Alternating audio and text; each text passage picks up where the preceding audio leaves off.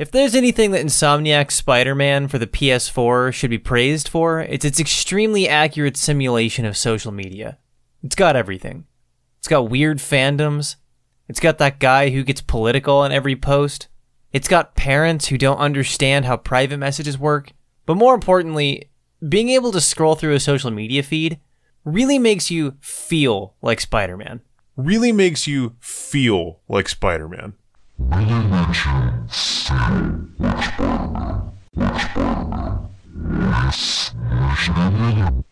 More than any other superhero, I've always identified with Spider Man the most. Batman is a dark and brooding survivor of childhood trauma. Superman is an alien god from another planet, but Spider Man at his core is just a skinny nerd. He has awkward text conversations with ex girlfriends, tries to diffuse bad situations with jokes no one gets, and is constantly flying through life by the seat of his pants, just barely being able to solve problems that he arguably created for himself in the first place. On some level, we're all Spider Man, and that's probably why he has proven to be one of the most iconic and beloved superheroes of all time. So, when I heard Insomniac was making a new Spider Man game for the PS4, I was immediately interested. Insomniac is a good dev, and a lot of the early info that we got looked pretty promising. Well, now it's out, and after about 30 hours of gameplay, I can safely assure you that it's a great game. Now, call your mom in to strap up your car seat because this video is going to be a long ride. There is a ton of ground to cover to really give a fair analysis to this game, but I suppose we should talk about the best part first. The movement system in this game is incredible. Insomniac has achieved, without any shadow of a doubt, one of the greatest movement systems in video game history. This is the first time I've played a game since I was maybe 8 or 10 years old where I started it up and just ran around. Just swinging around for like an hour or two, not even playing the actual game. It's exceedingly rare that something as simple as how your character moves from point A to point B to be this exciting. The only thing I can think of that even comes close is maybe the movement options that the player has in Mario Odyssey. This system is also really simple on paper. While swinging, you only really have about five different actions you can take, but the way the movements and animations all transition between each other make for a ridiculously streamlined and seamless experience. Why this game even included fast travel as an option completely baffles me. I didn't use the fast travel once in my entire playthrough, and oftentimes I would get so caught up in how fun it was just to fling Spider Man around that I would go past whatever objective I was heading towards and have to turn around and go back. As brilliant as this movement system is, though, it does fall apart a little when it comes to fine movements. If you need to jump a short distance, things can get a little wonky, and the wall crawling isn't nearly as polished as the swinging is, but usually this is fine. It does lead to some awkward moments, though. You will find people that will find something to complain about and make some bullshit claim that the old PS2 Spider Man or Ultimate Spider Man had better swinging, but these people are impossible to please cunts. You could design the most complex web system of all time where you independently control all 10 of Spider Man's fingers, and these people would still find something to whine about. Okay, so the web slinging is 10 out of 10, but this wouldn't be a Spider Man game without being able to give your enemies mild to moderate brain trauma. So, how's the combat? Well, the lazy description would be that it's a lot like the Arkham games. This entire game, in all honesty, is heavily inspired by Arkham City, but there are a lot of differences here that deserve to be mentioned that I think make Spider Man its own unique experience in terms of combat. I've seen a lot of people on Twitter say stuff like, after two hours of Spider Man, the combat is shallow and boring and blah blah blah blah. The, the problem with these people is they don't understand how progression works in a video game. Generally, in a game, the depth of a system will increase over time. Metroid is the perfect example of this you need to actually progress through Metroid to unlock the rest of your abilities to be able to play the game to its full potential and complete it. Spider Man is no different. Over the course of the game, you unlock more abilities and gadgets and upgrades that add a little bit more depth to the combat than you would initially think. You also gain some additional depth once you realize that you have two pathways to stop enemies. You can either punch them until they stop moving, or you can web them to a surface, and there are dozens of ways that you can mix these up and knock a guy in the air, web him, stick him to the ground. Web a guy, throw him into a wall. Web a guy, throw him in the air, stick him to the floor. Knock a guy over, web him. The list goes on and on, and part of the fun of the combat is figuring out all the goofy ways that you can achieve this. While you fight, you also have this resource called Focus. This focus gauge fills up over time as you perform actions. During combat, you can fill up to three focus bars. You can spend one or two focus bars to do an instant takedown of an enemy, or you can spend one bar to heal. While you fight, you have this combo counter, which is reset if you wait too long before attacks or if you're damaged, and the higher your combo counter is, the more focus you get. This focus combo system is a really great way to incentivize actually mastering the combat system instead of just smashing buttons, and forcing players to choose between an instant takedown or a heal is also a great way to make choices matter in the heat of a fight. And if you're playing this game on the hardest difficulty, choosing to rattle off a couple of risky takedowns with low health instead of healing can definitely come back to bite you. You've also got quite a few options in the gadget department, if you're having trouble with a large group of enemies, toss a web bomb. Need this guy to stop moving? Hit him with a shock web. Want to go in quietly? Use these tripwire bombs. You can also stick these directly on enemies and stick two of them together, which is hilarious. And speaking of going in quietly, in a lot of combat situations in Spider Man, you have the option to take on a stealth approach. Stealth takedowns are fun to look at, but the real interesting thing about stealth in Spider Man is how fast paced it is. Normally, this web jump attack is just a gap closer used to get close to an enemy, and other than that, has no special quality, but while stealthed, it acts as a takedown. This move can be rapidly transitioned into from any of your movement abilities, and also rapidly chained together. This means that during certain stealth missions, you can pull off some really badass, flashy, and high speed stealth combat, rather than the boring slog stealth can tend to be in a lot of games. The point is, while this combat system is very, very heavily influenced by the Arkham series, it does a good job of distinguishing itself as a unique experience and offers players a lot of ways to decide how they want to tackle a fight. Saying this combat system is boring is a matter of preference, but saying that it's shallow or that there's not a lot going on here is a reflection of somebody not actually spending the time to play the game. The only weak spot in this combat system is boss fights, which is pretty unfortunate a lot of them take a more cinematic approach, which I suppose is fine from a narrative perspective.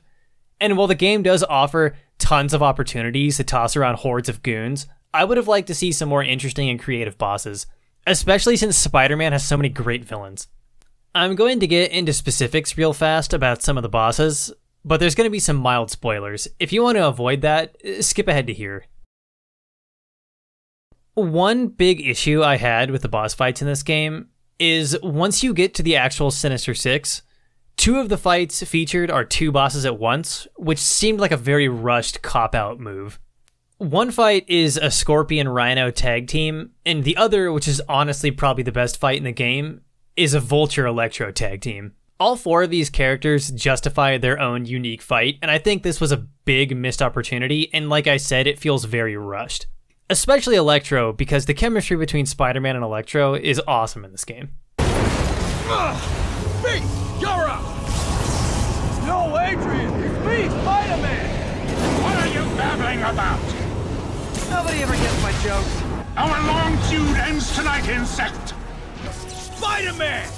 I must break you! Ah, you got it! You got my joke!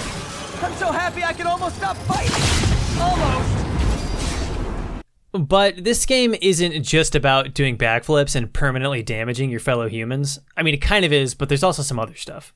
Spider Man has a pretty heavy collectathon element.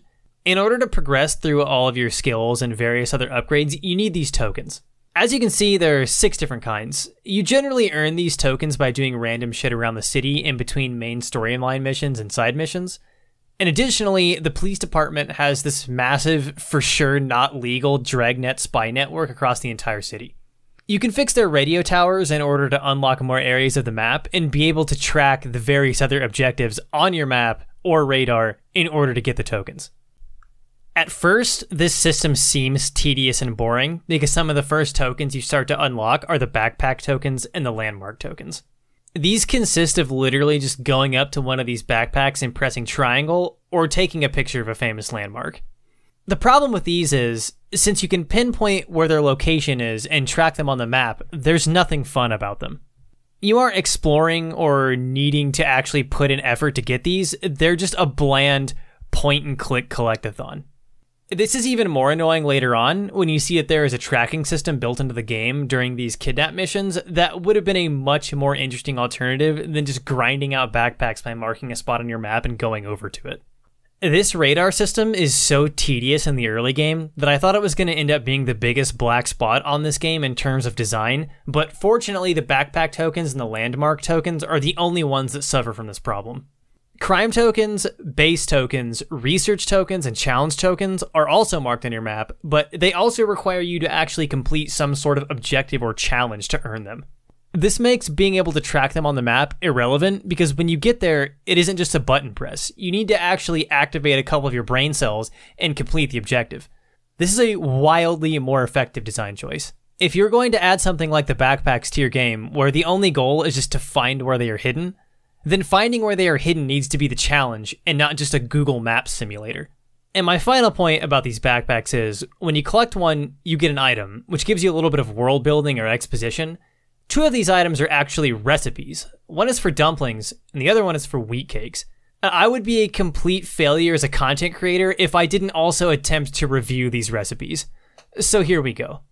The first recipe is for a wheat cake. It's basically just a cake with a little bit lower sugar in it. I made it in a bread pan. Uh, it would be pretty good as a breakfast food with maybe some butter or some jam. The second recipe is for Chinese dumplings, and these are extremely good. I ate like 25 of these and almost burned my kitchen down, splattering oil all over the place. Originally, my plan was to do kind of a goofy cooking show parody segment for this part of the video, but I really didn't have the time or the resources to make it good. So instead, I built you guys this giant Spider Man in Minecraft. I hope that makes up for it. Both of these recipes are really good. I highly recommend both of them. Next, I'm going to go into a little bit more detail about research tokens and challenge tokens, because they include some important aspects and aren't just combat challenges like most of the other ones. There are two ways to earn research tokens. You can either complete a side mission from one of these research centers set up by James Franco, or you can do this side mission that requires you to use your superhuman powers to their fullest extent by catching pigeons that fly around New York City. The pigeon mission is pretty self explanatory, but the research centers are a good time to talk about this game's science puzzles. During these research missions, when you're not seeing Spider Man do things you've always wanted him to do, like vaccinate the fish, you're going to be doing a lot of these science puzzles. You'll also need to do them a lot during the main story missions. You've got two different varieties here. You've got these circuit board puzzles and these spectrography puzzles. Spect spectrography spect spectrography spectrography. These aren't hard some people hate them, some people are indifferent to them. You do have the option to skip them, and in general, they are being panned by most of the people reviewing this game. These puzzles aren't great, and they probably should have been polished more or maybe even scrapped altogether, but I think I understand where the developers were coming from and why they included them. If you think back to the Arkham series, there were a lot of detective puzzles. That's because Batman, in addition to being Batman, is also the world's greatest detective. That's been a part of his character for a long time. So these puzzles show you there's more to Bruce Wayne than just cosplay and aggravated assault. Similarly, there's more to Peter Parker. He is Spider Man, but he's also a genius scientist. I think the intention with these puzzles, even though they are a bit of a flop, was to try to get the audience to appreciate some of the character's more overlooked but equally important traits.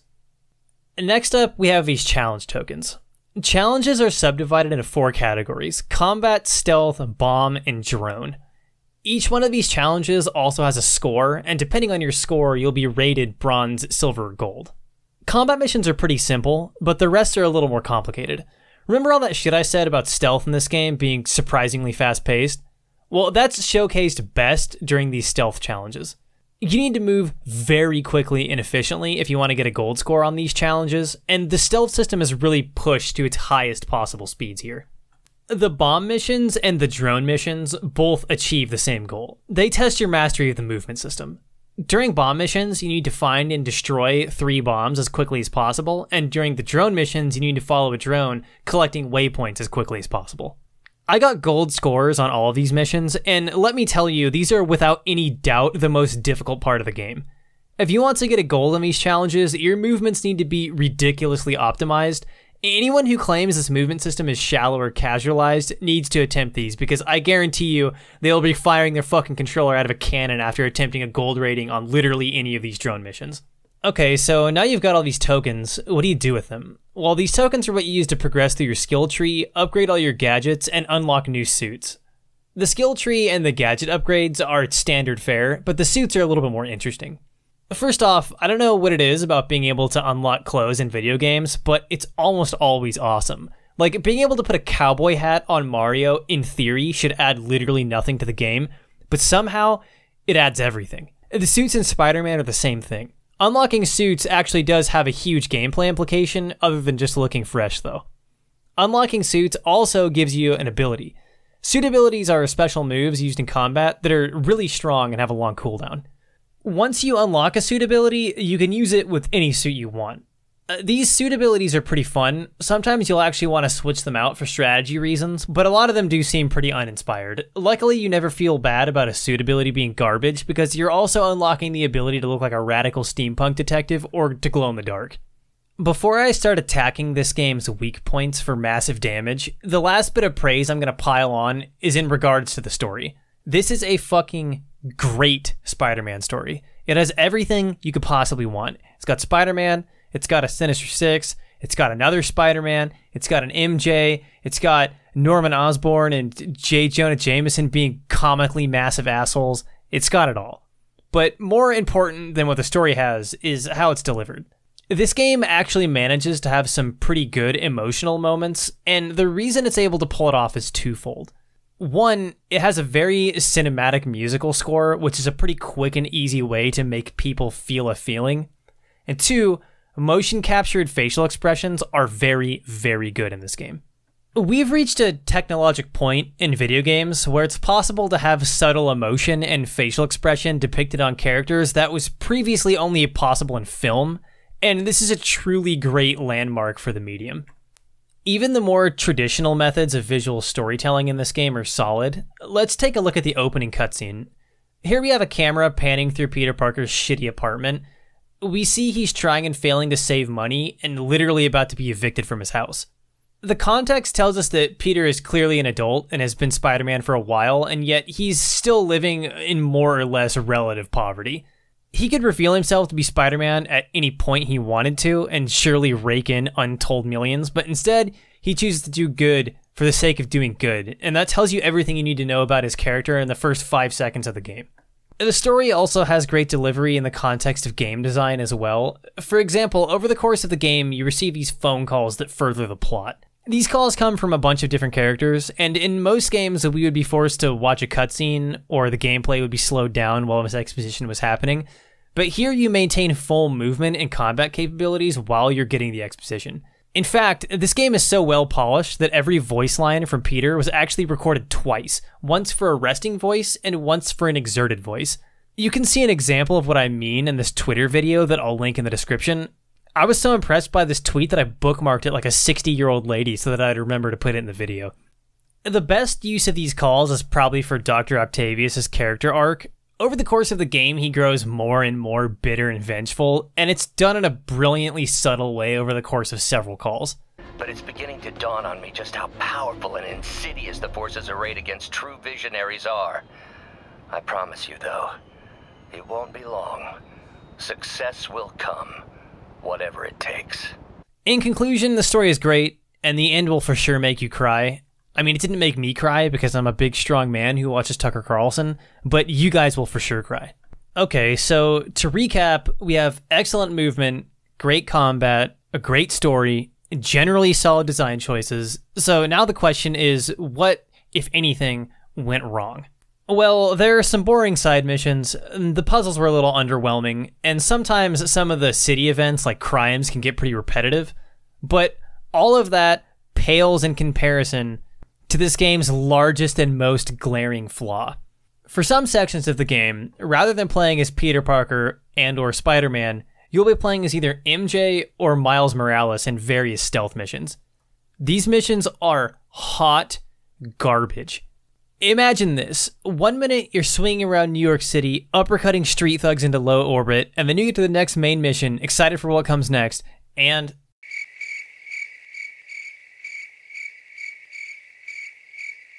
the most frustrating thing about these missions is even though they're a tedious drag, they also offer some good exposition. But you'll find yourself just wishing that you were watching a cutscene or listening to some audio instead of struggling through a terrible stealth section. The only time one of these missions manages to at least be passable is the Grand Central level, where you're moving around as MJ, marking enemies for Spider Man to take down.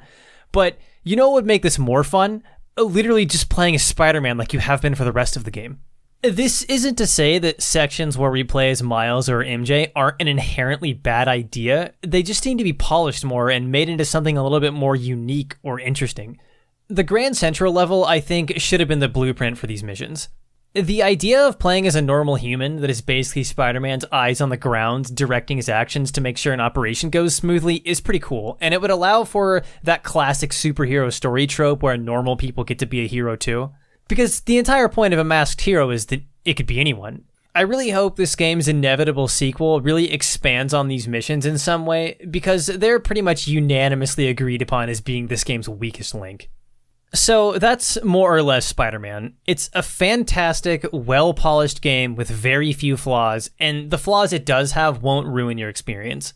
If you own a PS4 and you can afford to drop $60 on a AAA game, you should absolutely pick this up. Thanks for watching, and I'll see you in the next video.